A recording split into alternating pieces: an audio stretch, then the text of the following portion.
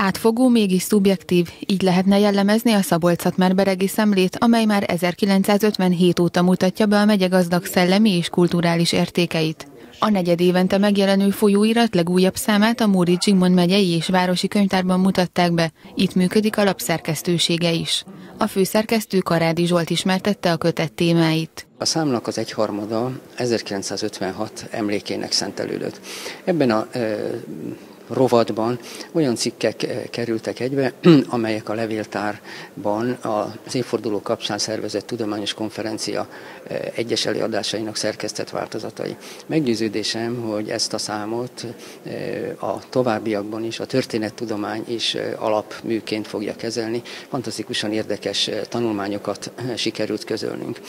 Úgy szintén nagyon izgalmas egy Kerényi Károly szöveg, amely Norvégiában jelent meg 1960-ban, és Kerényi Károly egyébként eh, nincs eléggé a köztudatban, a szellemi köztudatban, így talán ez a cikk is eh, ismét őrá is irányítja a figyelmet. Az értékteremtő és közvetítő munkát a szabolcs bereg megyei önkormányzat is támogatja, közölte Baracsi Endre. A folyóirat hosszú évek óta a minőséget képviseli, ezért is fontos a megjelenés segítése, tette hozzá a közgyűlési alelnök. Ez egy olyan lehetőséget jelent a megye, megyei íróknak, illetve azoknak az embereknek, akik a megyei tudományos életben, vagy akár a közéletben olyat alkottak, ami mindenképpen érdemes arra, hogy, hogy megjelenjen, hogy ez valóban számukra egy transzparencia, és mindenképpen nagyon fontos, hogy ez, ez folyamatosan tudjon működni, hiszen ez valóban Szabolcs-Szatmár Bereg megye önkormányzatának alapja, és ezt valóban igyekszünk is így kezelni. A szemle legújabb számában a szerkesztők nekrológal emlékeznek a nemrégiben elhunyt Nagy Ferencre,